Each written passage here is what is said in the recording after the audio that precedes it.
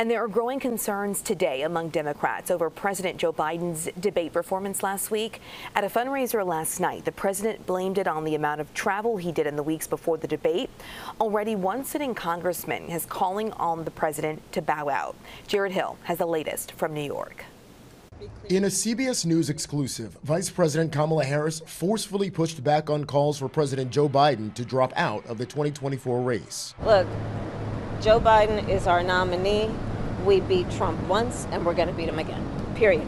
It comes as questions mount from within the party about his fitness to serve another term following a rocky first debate. Yesterday, at a fundraiser, the president offered a new explanation, blaming his poor performance on nearly back to back trips to Europe and California in the weeks before, and telling attendees, I didn't listen to my staff, and then I almost fell asleep on stage. We understand that it was a bad night. He knows how to do the job. Tuesday, White House Press Secretary Karine Jean Pierre said it was a cold and that he's not suffering from something more serious. Tuesday, 77 year old Texas Congressman Lloyd Doggett became the first sitting Democratic member to publicly call on Biden to bow out. We must have the strongest possible candidate, and I don't believe that's Joe Biden. Other Democrats are also voicing concerns. I was pretty horrified by the debate. He needs to make sure that the American people have confidence.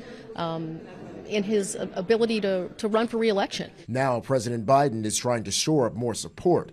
Later today, he's set to meet with a group of Democratic governors, and he has campaign rallies, a TV interview, and a solo news conference scheduled in the coming days. Jared Hill, CBS News.